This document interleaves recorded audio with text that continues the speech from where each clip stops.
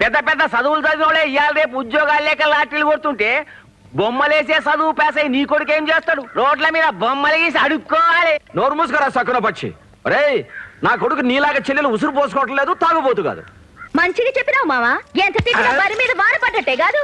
గా భాస్కర్ బాబు కథ ఆగుబోతు మాటలు నీకెందుకులా గానీ నువ్వు పెద్ద పెయింటర్ కావాలా? పెద్ద ఆయన పేరేమి? ఆ యాదొచ్చింది బాబు గాయ లెక్కల బొమ్మలు గీయాలా? రాధాబాయ్. ఇదిగో భాస్కర్ రైలు టైం అయింది పద.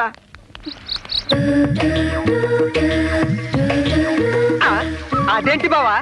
కలర్ అంతా ఈ పక్కనుంటే నీ కళ్ళు ఆ కలర్ చూడడం చూస్తున్నాయేంటి? మోడర్న్ ఫిగర్ల మీద మొహమ్మద్ తిందిరా బామ్మర్ది. నాటు కావాలరా. నాటు? నాటు కావాలంటే నా సొంటి ఆవులగాని పట్టుకోవాలి.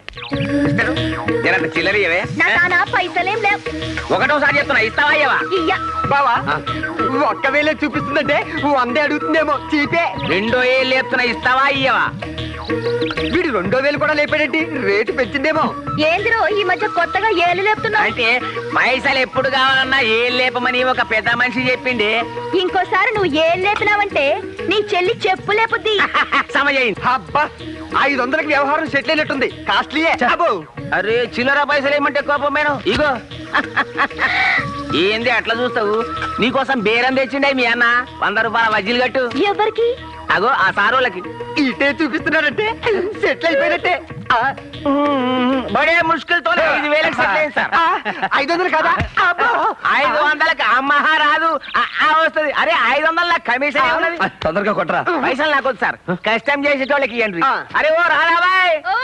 సార్ వెయిటింగ్గా ఉన్నాడు జల్దిగా రావాలి. ఆ, పాంచ్ మినిట్ పాంచ్ మినిట్. పాంచ్ మినిట్లు వస్తుంది సార్. ఆల్ ది వేస్ట్ ఆదాబ్. ఆదాబ్ ఆదాబ్ ఆదాబ్ ఆదాబ్ వచ్చాయి వచ్చాయి. ఏంటిది? బజ్జీలు? బజ్జీల తర్వాత ముందు బండెక్కు. బండెక్కాలా ఎందుకు? ఎందుకేంటి? ఆ లాల్చి చేసుకున్నాడు.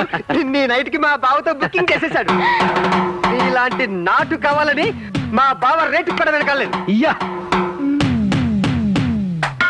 రేట్ ఎంత చెప్పిండు? ఐదు వేలు. ఇయ్యండి ఎక్కుతా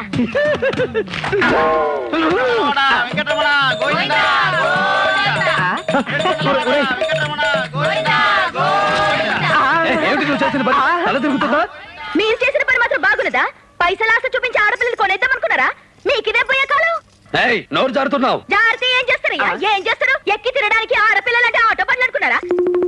ఈ రాధాబాయ్ అంటే మీకు ఎరకలే. చిక్కడపల్లిలో చిక్కేస్తే చీరాల్లో మోగుతుంది విశాఖపట్నంలో ఈలేస్తే ఇబ్రహీంపట్నంలో ఇనపడుద్ది ఆ నుంచి వస్తారు మా వాళ్ళు. ఎవరు వస్తారో ఏం చేస్తారో చూస్తాను.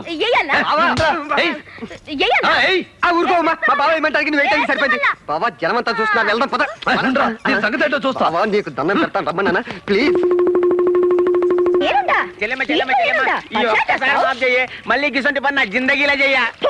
నిన్న నమ్మిండ్రా నేను కలర్ సోడాలు అమ్మితే నువ్వు నన్నమ్మడానికి చూస్తావరా బద్మాష్? ఒరే బైరాగ వేధవా. నీకు ఎన్నిసార్లు చెప్పినా సిగ్గు సరం లేదట్రా? నువ్వు కూడా అట్లా మాట్లాడతావేంది మామ ఎన్ని సైన్ వల్ల చూడలే? గుడిసెలో ఉండే పోరికి బంగళలో ఉండే పోరానికి లింకు పెడితే ఏమైతుంది? ఏమైతుంది? క్లైమాక్స్లో పెండ్లి అవుతుంది. గట్లనే నాశలేని కూడా ఒక పెద్ద అయ్యేసి ఎట్లా పెడదామని ఐడియా చేసిన. అమ్మ తోడు. చూసినావు మావా? నోరు తెలిస్తే గిట్లా అబద్ధాలు. ఈ తాగుతాడంట నా పెళ్ళి చేస్తాడంట. లే నేను ఇంట్లో వెళ్ళిపోతా నేను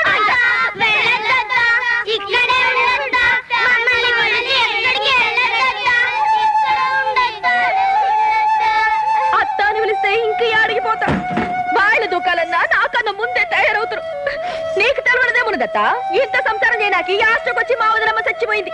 ఈ పిల్లలేమో నా పెడకు చుట్టుకున్నారు. ఇంకే అడిగిపోతా లోపలికే పోతా. రండి.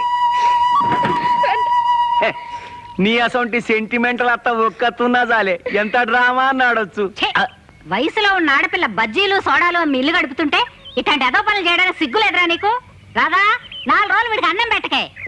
తిండి నాకెందుకు అత్త డాక్టర్ సాబు నన్ను పల్సటి టానిక్ తీసుకోమన్నాడు.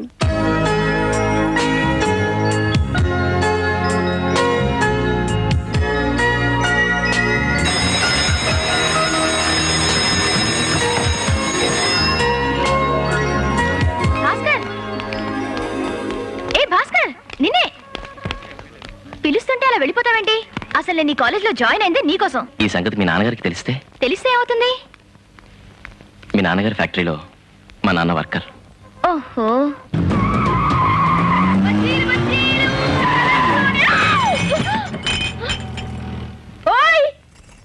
ఏది వెయ్యేది కళ్ళు నెత్తి మీద ఉన్నాయా ఫేస్ మీద ఉన్నాయా? ఎక్కడున్నాయో చూసుకో. గట్లనా? నేను ఇచ్చిన బజ్జి మస్తుగా లేదా? మళ్ళా మిర్చి కొరకడానికి వచ్చినా? వదులు. వదలకుంటే అరుస్తా. కరు. అరిసినాక కరుస్తా. కరు. నిజంగానే కరుస్తా. ఉమ్, కానీ.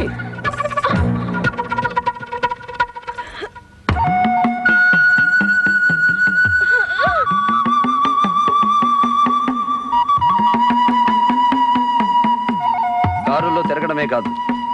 కారం తినడం కూడా తెలుసు. ఇప్పుడు నేను ముద్దు పెట్టుకుంటే అడ్డుకోవడానికి ఎవ్వరూ రారు కదేంది బాయ్ గట్ల చూస్తారేమి మీరు మగాళ్ళు గారు రాండి చుమ్మా పడతాడు రారు ఫ్రీ షో చూస్తున్నారు. చూడని?